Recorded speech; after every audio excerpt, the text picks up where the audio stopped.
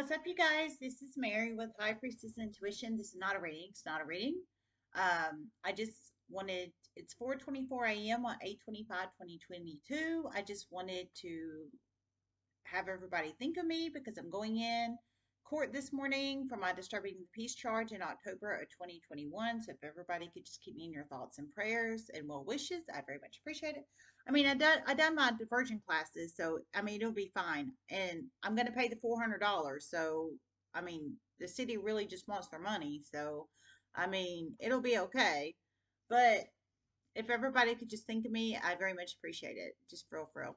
Um, but also too, I was gonna say um, I came across this website, which I'm not one to buy into extra stuff. I'm a minimalist. I just, I am. I'm a minimalist for real, for real, for real. I just am. But there was a, I was looking last night and there was a background check. It's like a background check. You can search for any kind of public records and um, et cetera, et cetera, et cetera criminal history, property uh, uh, records, um, marriage licenses, any, um, professional licenses, any kind of public record information on anybody. Um, so I did it on myself, and um, I paid the I paid the thirty to it was thirty five twelve for thirty for 30 days. So $35.12 for 30 days. Um, it's through instantcheckmate.com. Instantcheckmate.com. Um, I did it for my to look search myself.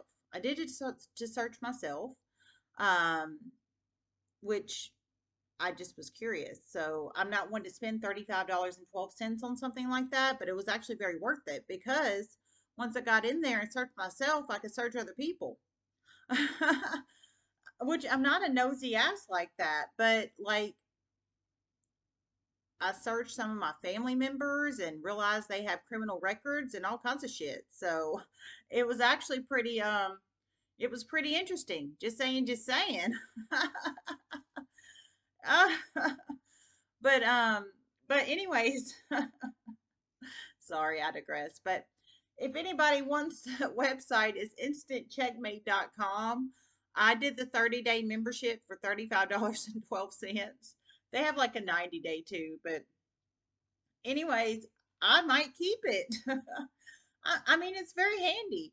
Um, you know, not that I'm into dating or anything, but that's good to um, have if you go on a date. Um, just, you know, to make sure they don't have a criminal history, they're not a pedophile, not on the um, watch list, pedophile watch list, and et cetera, et cetera, et cetera.